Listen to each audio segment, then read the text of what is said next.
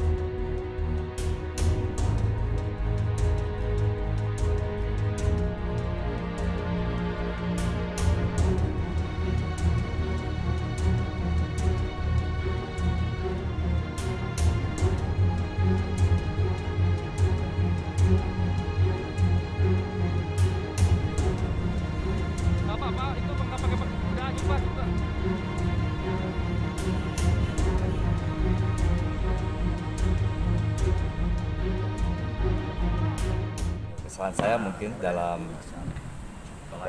penyusunan terlalu kecil gitu. anggaran yang kecil Pak kalau anggaran yang disebutkan itu 150 juta itu benar nggak? Ya. ini ada beberapa ya apa